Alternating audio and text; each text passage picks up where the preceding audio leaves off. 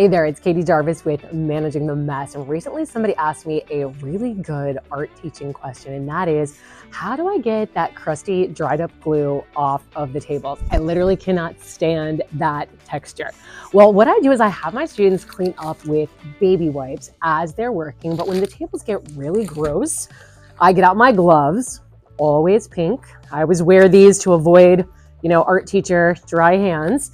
And I'll use something strong like Clorox wipes, wipe off the tables, loosen up the glue, and then get out my secret weapon. Dun dun dun, a scraper, like what the custodians use. Scrape this across your table.